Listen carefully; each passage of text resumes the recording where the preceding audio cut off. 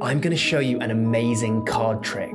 The playing card changes into a pen and then back to a card multiple times. Comment if you want a tutorial.